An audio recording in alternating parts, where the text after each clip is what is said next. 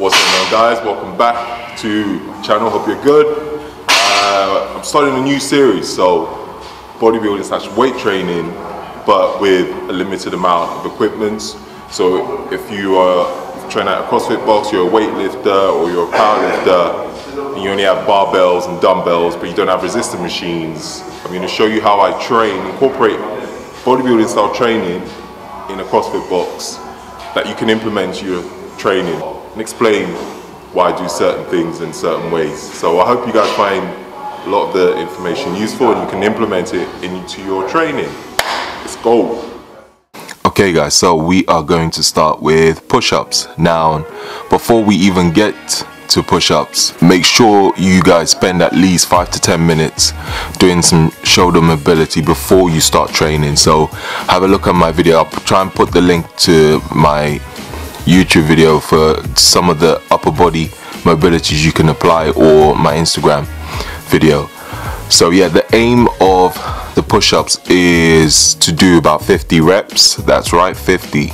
No half rep in these. I'm talking full solid reps all the way down to the floor and back up now just watch how my elbows are slightly closer to my body and not aligned with my delts this puts less pressure on delts and focuses on chest.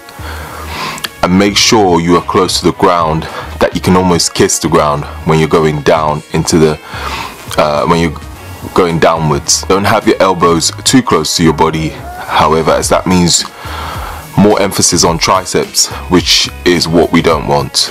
So not too close and again not aligned too far out with your shoulders. The whole idea is to pre-exhaust the chest before the main workout. I've always done this before training chest. I usually do press-ups or cable flies.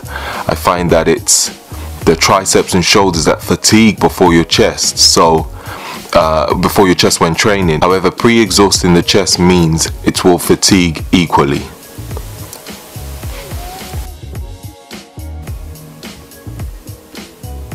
So we are now on to the bench press. Before we start benching, I want to emphasize that this workout is all about time under tension, no ego lifting, focus on tempo, and also focus on contracting the chest every single rep.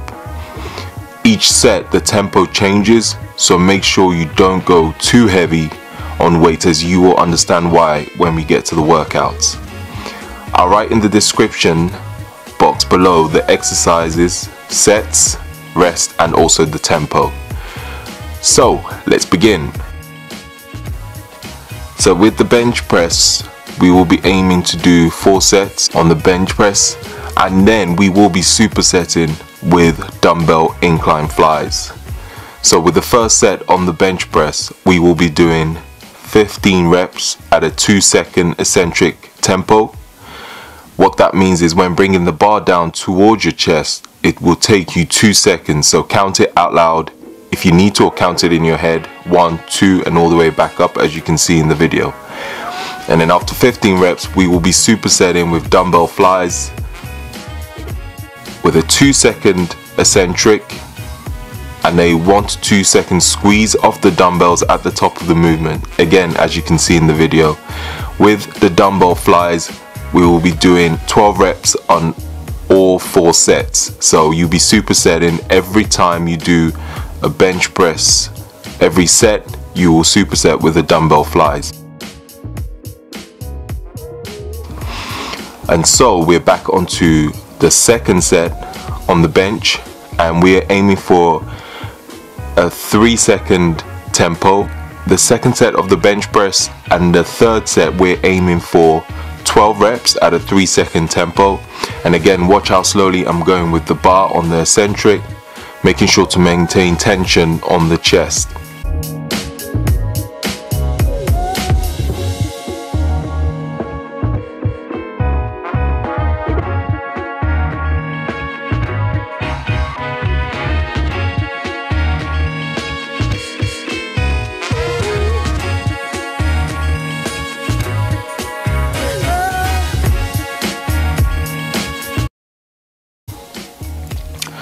With the fourth set, we will be doing 10 reps at a five second tempo. Now remember I told you about not going too crazy with the weights.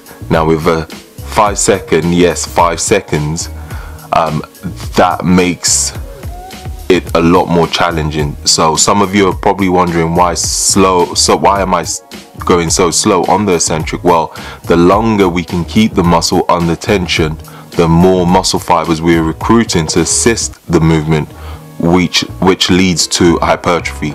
Hence, the longer you can keep the muscle under tension, the better.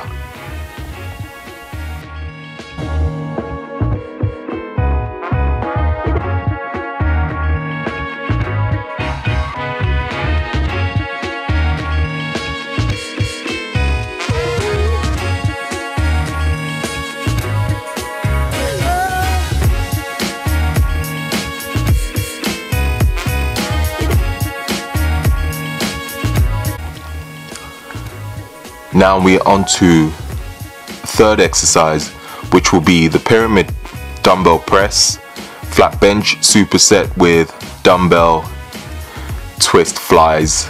I know that sounds weird, but I will explain that in the video. So we'll start with the pyramid press. I have always done the pyramid press because it puts less strain on my delts and also allows me to fully contract my chest at the top of the movement. Make sure to keep the elbows at a slight angle and not aligned with your delts. We are aiming for a 2 second eccentric and a I would say 1 to 2 second hold at the top of the movement. Make sure as you can see in the video to focus on squeezing both dumbbells together as you can see my chest fully contracts when I do that. So when you come down and you go up again squeeze the dumbbells for two seconds. Why squeezing the dumbbells? Well, if you squeeze the dumbbells, that automatically contracts your chest. So you don't have to actually contract, focus on your chest when you're uh, at the top of the movement. Focus all your tension on those dumbbells, and that would, again, as you can see in the video, squeeze your chest together. Now we're on to dumbbell twist flies. The difference with these and a normal and normal dumbbell flies are you will be twisting the ends of both dumbbells together. As you can see I'm doing in the video and as you can see with my chest it's fully contracted when I do that. So really squeeze the dumbbell together to get a full contraction on your chest.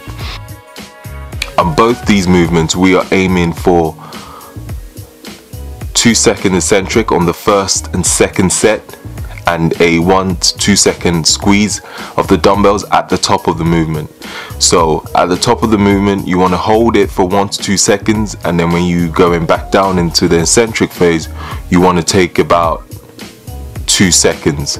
And then when you get to the third set, you want to take a three second eccentric and a one to two second squeeze at the top. And I put an alternative for you guys also. So this will be on the floor. So if you have shoulder issues or you tend to overextend at the bottom of the movement on the bench trust me it makes a big difference. I actually like to do both. So alternate with bench and the floor or you can do bench one week and then do these movements on the floor the next week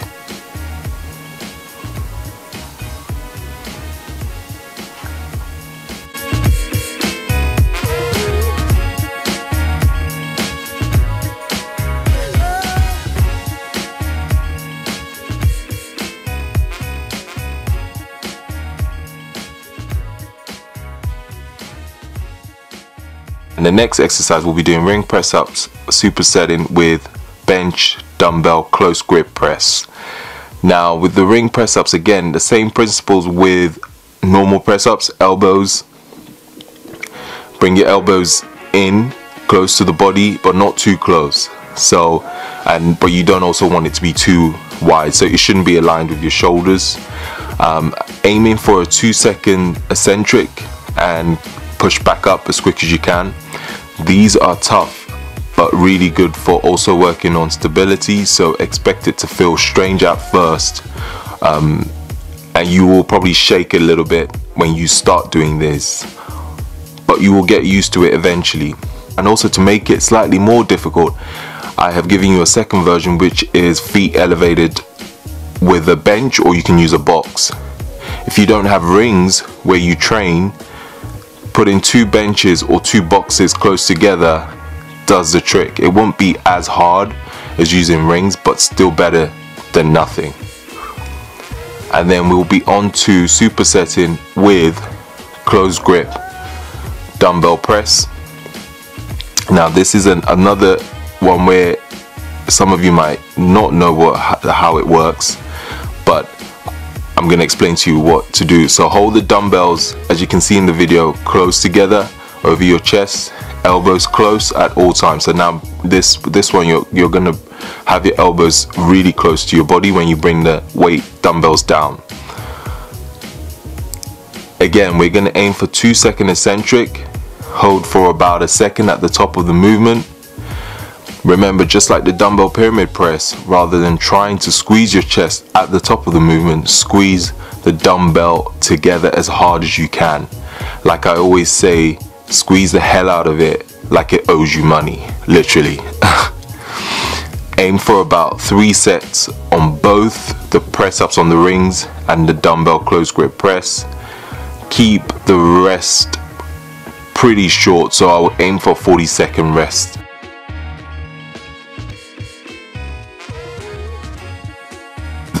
most of these exercises I'll aim for about 45 to 60 seconds on the rest ranges as well if I haven't put that if I haven't um, included that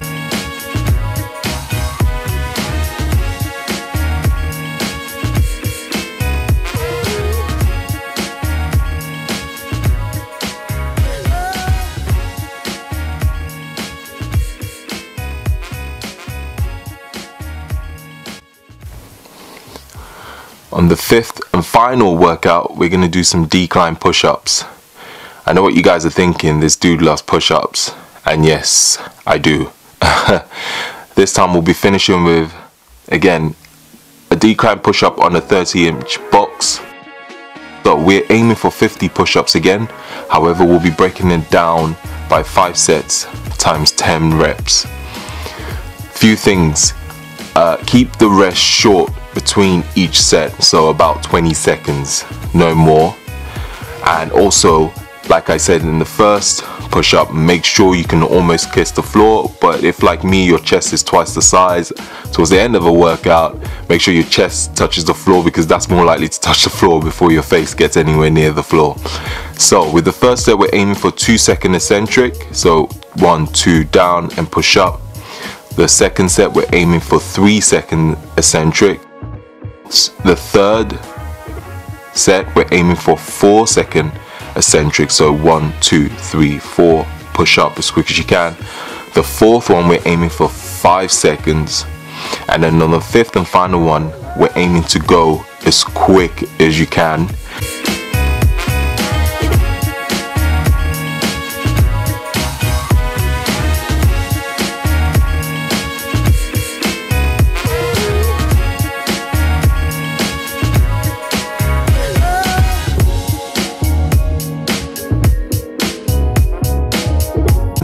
Now with this, yes, I, on the fifth one you're aiming for 10 reps. However, if you can do more than 10, keep going till you literally cannot do any more. So till, till failure. Well, everyone, hope you found this video helpful and hopefully you can implement this into your training. My goal is to bring you workouts that everyone from all different fitness backgrounds can do even with limited equipment don't forget to uh, please leave a thumbs up if you enjoyed the video and leave a comment if you have any questions. Thank you for watching and hopefully get the next training video out to you soon